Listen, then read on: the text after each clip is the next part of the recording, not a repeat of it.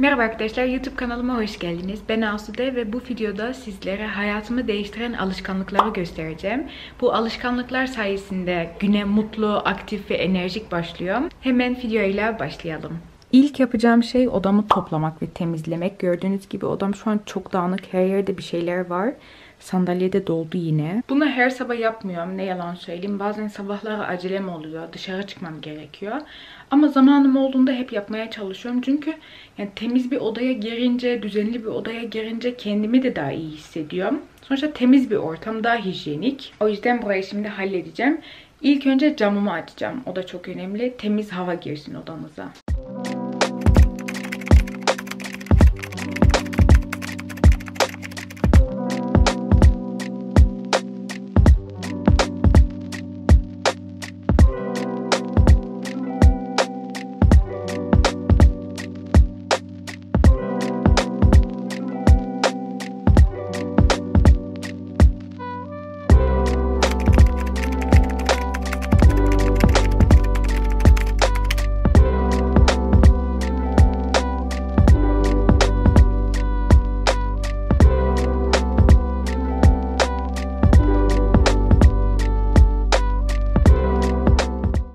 Sonuç bu şekilde. Çok daha düzenli, çok daha toplu görünüyor. Ya benim odamda çok fazla süs var gördüğünüz gibi. O yüzden hepsini silmek bazen yani bayağı uzun sürüyor. Ama yaptık.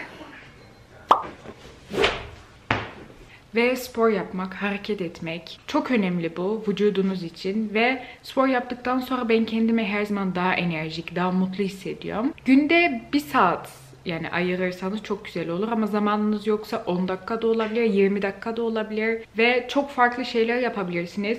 Bir YouTube videosu yapabilirsiniz. Ee, egzersizler, kol, karın, kası ya da bacak. Yoga yapabilirsiniz, koşuya çıkabilirsiniz. Ben normalde koşuya çıkmayı çok severim. Ama bugün hava pek iyi değil. O yüzden bugün evde spor yapacağım. Karın kaslarımı çalışacağım. Bir 20-30 dakika. Sonra da e, yoga değil de böyle esneme hareketlerini biraz uzun yapmayı seviyorum. Çünkü kendimi böyle zen hissediyorum. Hani böyle kafam boşalıyor onu yaptığımda. O yüzden şimdi spor yapacağız.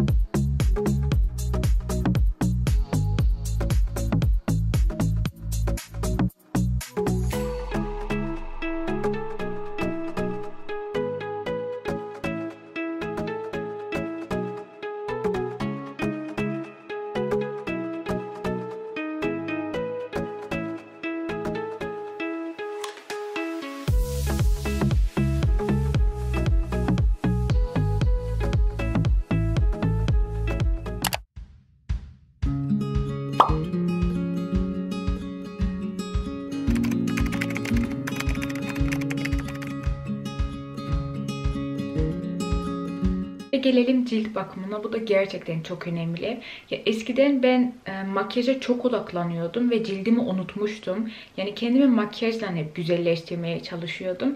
Ama asıl cildiniz güzel olması gerekiyor. O makyajı sadece dışarıya çıktığınızda sürüyorsunuz. Ama evde olduğunuzda yine yani cildiniz ve siz kalıyorsunuz. O yüzden e, cilt bakımı gerçekten şart. Bunu anladım. Ve öyle 10 ürün kullanmayın. Yani öyle abartılı cilt bakımlar yapmanıza gerek yok bir iki üç ürün yani iyi ürün kullandığınızda zaten yeterli oluyor. Çok fazla ürün var. İlk önce cilt tipinizi öğrenmeniz gerekiyor. Yani yağlı mı, kuru mu? Bunu bilmiyorsanız e, Google'a cilt tipimi nasıl öğrenebilirim yazarsanız bayağı e, seçenekler çıkıyor. Ya benimki normal kuru yani normal genellikle hani bu kışın kuru oluyor. Dediğim gibi çok fazla ürün var o yüzden gerçekten iyi araştırmanız gerekiyor. Hani hassas bir cildiniz varsa her şeyi kullanamazsınız yüzünüze. Alerjik reaksiyon yapabilir ve herkesin cildi farklı yani bazılarına iyi gelen sana belki iyi gelmez. Denemek lazım aslında ama sonunda bulacaksınız yani bundan eminim. Ben neler kullanıyorum onu hemen anlatayım. İlk önce böyle bir serum kullanıyorum. Sinoz'un kolajen hyaluronik asit söyleyemiyorum ama bu iyi bir serum. Ee, bunu bununla uyguluyorum böyle taş. Bunun ismi neydi ya? Hatırlamadım. Ama bu çok iyi geliyor çünkü soğuk oluyor. Ee, sonra da nemlendirici sürüyorum. CeraVe'nin. O kadar. Bazen de E vitamini sürüyorum yüzüme. Haftada bir bu Sinoz'un arındırıcı kil maskesini kullanıyorum. Çok güzel temizliyor. Ve diğer favorim bu um, The Body Shop'un maskesi. Bu çok meşhur bir maske. Çoğunuz biliyordur bunu. Uh, Himalayan Carco Purifying Glow Mask. İsmi bayağı uzunmuş ama bunu bitirdim üçüncü ya da dördüncü kez bitirdim. Yenisini almam lazım. Çok çok çok başarılı. Yani bunu kesinlikle tavsiye ederim. O kadar yüzüm için başka bir şey kullanmıyorum. Ve uyandığımda yüzümü yıkıyorum. Sadece suyla. Akşam uyumadan önce de yüzümü yıkıyorum. Öyle.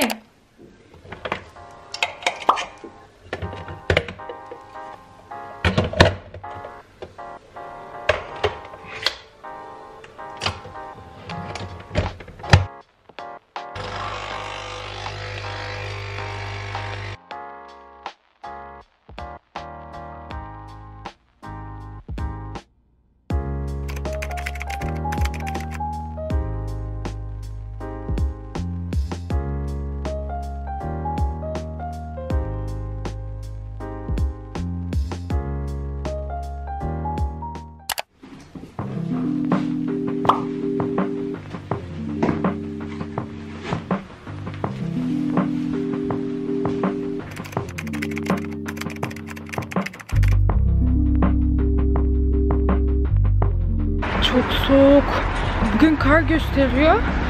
Ama yağmaz bence. Bilmiyorum. Ellerim dondu.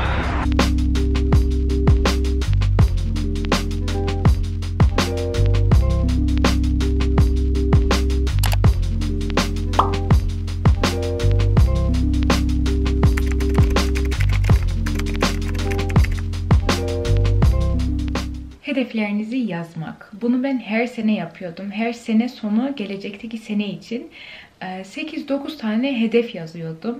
Mesela her ay bir kitap okumak, bir miktar para biriktirmek, arkadaşlarımla tatile gitmek ve sene sonu tekrar o hedeflere baktığımda işte hangisini yapabildim, hangisini yapamadım, yapamadıklarımı niye yapamadım. Hani böyle şeyler yazıyordum ve gerçekten hoşuma gidiyordu.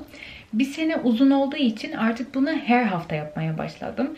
Her gün yapanlar da var. Ya yani onu da yapabilirsiniz tabii ki. Hedef dediğimde böyle büyük hedefler gelmeniz ya gelmesin aklınıza. Küçük hedefler de olabilir. Mesela bir gün için daha fazla su içmek ya da bu kadar saat ders çalışmak, spor yapmak yani her şey olabilir. Şey de yapabilirsiniz. Diyelim ki bir senelik hedefiniz var her hafta o hedef için neler yaptığınızı da yazabilirsiniz. Yani o da bir motivasyon olmuş olur. O hedeflere ulaştığınızda kendinizi gerçekten çok iyi hissedeceksiniz. Ve bazen daha uzun sürecektir. Yani belki yazdığınız gibi olmayacaktır. Olsun. Sonuçta bir hedefiniz olsun. Ve bunun için her şeyi yapın. O hedefinizi gerçekleştirmek için her şey yapın. Ve burada videonun sonunu çekeceğim. Alışkanlıklarım bu şekildeydi. Bu alışkanlıklar sayesinde gerçekten bu kadar pozitif olabiliyorum. Bu kadar mutlu olabiliyorum. Beni ben yapan şey bu alışkanlıklar sonuçta. Umarım bu videoyu beğenmişsinizdir. Diğer videolarımda görüşmek üzere.